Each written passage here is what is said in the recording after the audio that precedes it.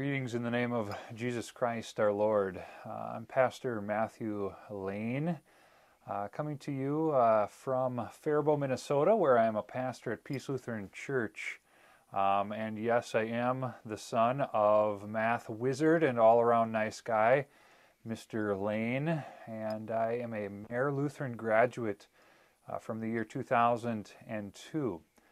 Um, it is uh, my uh, privilege to be able to come to you with a with a brief devotion uh, in these uh, times where uh, these types of devotions seem to be more and more common. Uh, and if you're like me, uh, they're kind of disappointing in many ways, uh, because for you and for the people who are all around our world, we like to be together. disappointment's been a theme that I've been thinking a lot about. Uh, not uh, too long ago, we celebrated uh, Holy Week, in which we have the opportunity to worship uh, in many different fashions. And um, you start on Palm Sunday, you move throughout that week with wonderful services. And uh, this year it was a whole lot different, uh, where I was spending time in the sanctuary with one or two other people singing songs to myself and a camera, essentially. Uh, those songs that are they're they're so much uh, better when it is uh, filled when the sanctuary is filled with all sorts of people and we sing those songs with gusto. Uh, it was disappointing. Um, it was in many ways a letdown. It was not what uh, I wanted it to be. I couldn't spend fam- couldn't spend time with my extended family for Easter. Also a disappointment. Uh, other disappointments that have been coming up are, are times where uh, having a parishioner uh, die and no funeral can be offered in the in the in the way that it normally is, and, and it moves to simply a brief a graveside service. This is all things that bring about disappointment. As kids in high school, I imagine your disappointments are growing uh, by the day. My kids are little uh, they're young. They're they're still going to have many days ahead of them, most likely, that are filled with uh, wonderful experiences of uh, that of of the youth of times of youth. Um, but for you, for high schoolers, specifically seniors, uh, you're losing out on all sorts of things that uh, many adults uh, cherish still into their adulthood as wonderful memories.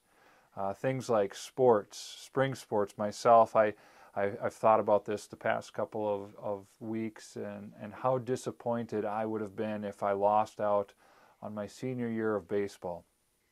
Um, for some, you lose out on things like prom and perhaps even uh, no graduation uh, ceremony and, and, and parties and things like that. And I, and I can't imagine uh, the disappointment that many of you are going through. But see, the temptation is to simply feel sorry for ourselves and just allow our disappointment to consume us day after day. And I think there's a time and place for those feelings of, of sorrow and grief and, and sadness. Uh, the Christian faith speaks to those realities of the human experience, and it may come as a surprise to some, uh, but the main message of the Bible uh, is not to simply pull yourself up by your own bootstraps. Rather, the main message of Scripture is about a God who came to us in the person of Jesus Christ and entered into a whole pile of disappointment. These disappointments were, were ranging from the sins of people to the sickness of the world to death that is all around. And Jesus faced these disappointments he wasn't simply running away from them, he was willing to face those head on.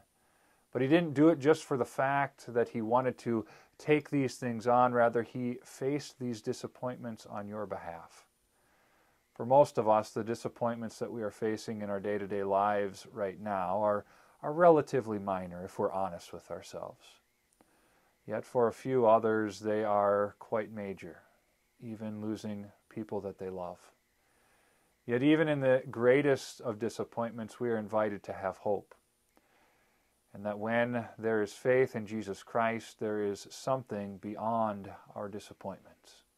1 Thessalonians 4, uh, verses 13 and 14 says this But we do not want you to be uninformed, brothers, about those who are asleep, that they may not grieve as others do who have no hope. For since we believe that Jesus died and rose again, even so, through Jesus, God will bring with him those who have fallen asleep. No matter the magnitude of the subject matter of our disappointment, the hope that we have is Jesus Christ has overcome it all. No, this doesn't give us back some of the things that we have lost to this pandemic, but it does give us something that will never let us down a Savior, one who walks with us in both the good times and in the bad. One more Bible verse for you to chew on here today. Psalm 34, 17 and 18. When the righteous cry for help, the Lord hears and delivers them out of their troubles. The Lord is near to the brokenhearted and saves the crushed in spirit. God hears your prayers, and He wants you to cry out to Him. Are you disappointed? Are you frustrated or sad about the situation that you find yourself in? You are righteous in Christ and are invited to cry out to God with the problems that are both big and small. I invite you to do that continually throughout your times of disappointment. Let us pray. O Lord, we ask that you be with our communities, our state, our nation, and our world in this time of pandemic. May you give us all wisdom as to the best course forward. May you give us all patience, always being reminded that you and you alone are in control. We ask that you be with the students of Mayer Lutheran High School, and specifically the seniors who have lost out on many cherished events and memories. Help them to deal with these disappointments in a healthy manner, trusting that their Savior has their best interest in mind. Through these times, may we be moved to a deeper faith that can cry out to you and praise you, trusting that you are our loving Father who cares for us, his children. We pray all of this in the name of Jesus Christ our Lord. Amen. May you be blessed in these times. Stay safe and always trust in your Lord and Savior Jesus Christ. God's blessings to you.